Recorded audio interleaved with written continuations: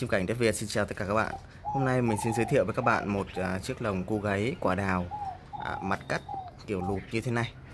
À, Lồng được hoàn làm hoàn toàn bằng tre à, rất là nhẹ nhàng và à, lập à, lá nhựa lá xi như thế này. Đây, các bạn móc hình à, con à, chào cào châu chấu. Đây, quay một chút cái cửa cho các bạn. Làm hoàn toàn bằng tre à, nhốt chim rất là thoáng. À, các bạn có thể dùng để sách chim đi dãi rượt đi thi đấu hoặc là kể cả nuôi chim bổi cũng rất là tiện lợi. Các bạn thấy đấy đây là cái cửa này. Sập lên sập xuống này. Đấy. Đấy, các bạn có thể nuôi bổi cũng rất là tốt. Và kể cả sách chim đi uh, thi đấu uh, rất là hợp lý. Và cái trọng lượng lồng nó khá là nhẹ nó nhẹ nhàng lắm. Đấy. Còn đây à, theo lồng thì nó có sẽ có những cái mẹt như thế này. Các bạn thấy này đây là cái mẹt mẹt hướng phân. Đấy, tháo ra tháo vào rất là tiện lợi và sạch sẽ. Cửa chỉ cần rút lên thôi. Cái chưa? như nhà mình vẫn đang dùng đây. Đúng không ạ? Đang nhốt rất nhiều đây.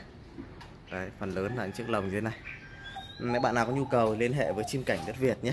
À, giá chiếc lồng như thế này bên mình đang à, để là à, 1 triệu tư. Thì à, các bạn gọi trực tiếp cho mình theo số điện thoại 0944 114410 mình đang ở 274 à, Định Công Hoàng Mai Hà Nội và có ship hàng toàn quốc. Lưu lại một lần nữa nhé. À, đây là chiếc lồng làm khá là kỹ. À, các bạn thấy đấy à, đường nét khung mây à, rất là kỹ. À, toàn bộ đan tre luôn. Đấy. À, rất là nhẹ nhàng thích hợp với dãy dượt độ bền rất là cao. Hàng kỹ luôn. Đấy. Các bạn xem thêm trên Facebook uh, chim cảnh đất Việt hoặc fanpage chim cảnh đất Việt nhé. À, hoặc đăng ký thành viên kênh chim cảnh đất Việt trên YouTube để cập nhật nhanh nhất video mà mình đăng lên nhé. Một lần nữa xin nhắc lại là các bạn là có nhu cầu liên hệ trực tiếp với chim cảnh đất Việt theo số điện thoại là 0944 114410 xin cảm ơn tất cả các bạn đã à, theo dõi video clip này. Đây chia nhà mình nuôi đây.